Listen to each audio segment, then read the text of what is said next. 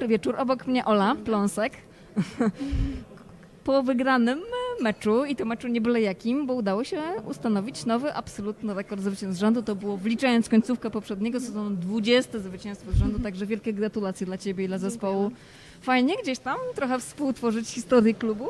No pewno cieszy nas to zwycięstwo i to, że tworzymy jakąś tam historię, no ale też mamy inne cele na ten sezon. Jakby mamy to w pamięci, że, że naszym celem jest, są playoffy i Mhm. mocno się na tym koncentrujemy, więc jakby fajnie, że to się stało i fajnie, że tworzymy historię, ale, ale też mamy w pamięci, że jakby cele są inne.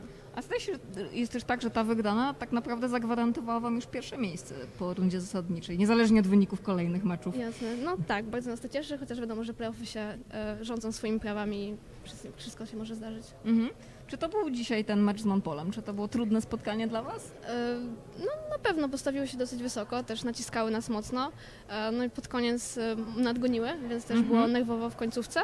Mm, No ale myślę, że, że się udało i to nas cieszy, że Mhm. kolejny mecz, kolejne zwycięstwo. Ja się podpytam, co takiego się stało w tej czwartej kwarcie, bo tak już, już się wydawało, że tam bezpieczne plus 20, a jednak się zbliżyły dziewczyny z Płocka. No na pewno, one dosyć mocno wyszły. Y, Nadarzyło nam się trochę niepotrzebnych strat.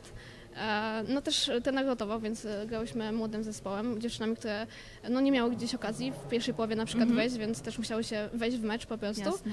E, No i myślę, że troszkę też za mocno uwierzyłyśmy, że już mamy ten mecz, żeby 20 do przodu, też tak, że tak fajnie grała. No a to się okazało, że, że jednak postawiły się i trzeba było dalej walczyć. Mhm. Ty lubisz taką, taką grę, że, że i ty wywierasz presję i gdzieś tam też blisko ciebie jest obrońca, czy odpowiada ci taki styl gry?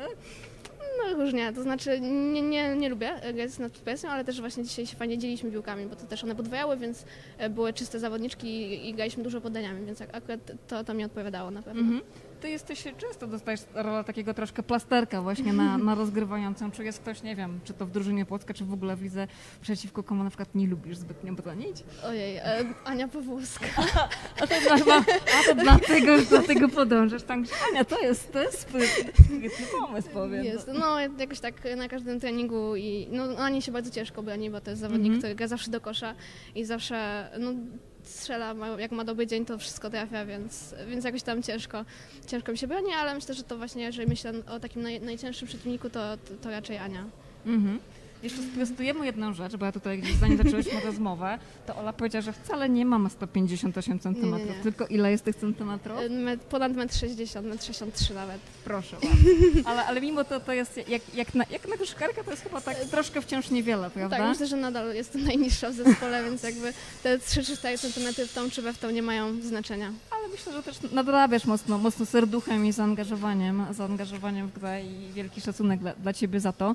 E, W meczu tydzień temu tam wypatrzyliśmy takie zagranie w stylu, w stylu Ali Up, że tak powiem, kiedy skierowałaś piłkę bezpośrednio z powietrza po, po podaniu Karoliny Olszewskiej. Czy to, czy to było gdzieś tam ćwiczone, czy to wyszło spontanicznie podczas tego meczu? Nie, nie, to wyszło bardzo spontanicznie. Ja też w sumie potem zastanawiałam się, dlaczego akurat tak na taki pomysł wpadam, ale to było tak, że miałam zawodniczkę za sobą i ona mnie goniła i ja czułam, że jak, jak opadnę i będę chciała rzucić, to ona mnie zblokuje, Mhm. więc po prostu zdecydowałam się, że co z powietrza i tak wyszło. Wyszło bardzo, bardzo fajnie.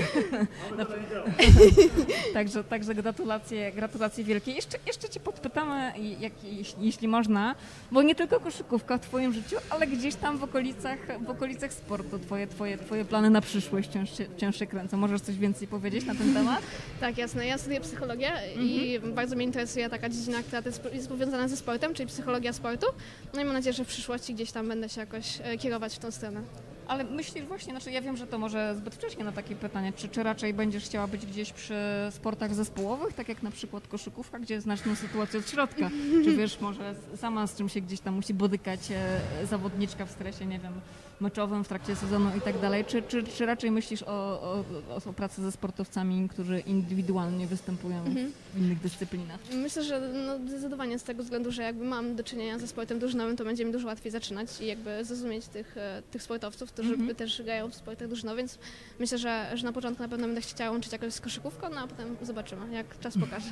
Różnie Trzym- może być. Trzymam kciuki, żeby niezależnie od tego, jak wyszło, to żeby, żeby, było, żeby było to e, po Twojej myśli. Za tydzień mecz z AZS Uniwersytet Gdań, Gdański, mecz e, wyjazdowy, więc tam już można się spodziewać nawet jeszcze silniejszego składu niż tego, który był w Warszawie, bo tam w meczach e, w Gdańsku Karina Szczurewska, gdzieś tam już wróciła Justyna Kosa- Kosalewicz. Czy myślisz, że się uda oczko uzyskać, czyli 21 zwycięstwo z rzędu?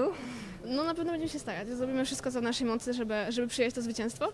E, No teraz jesteśmy w takiej pozycji, że tak naprawdę każdy mecz jest ciężki, bo każdy się nastawia, żeby pobić tego lidera, więc tu nie ma już łatwych meczy. Sami sobie zgotowaliśmy taki los. E, No więc będziemy walczyć, zobaczymy. Okej, to, to be- będziemy mocno na pewno kibicować i trzymać, trzymać kciuki, żeby, żeby się tego lidera, lidera jak najdłużej nie udało pobić.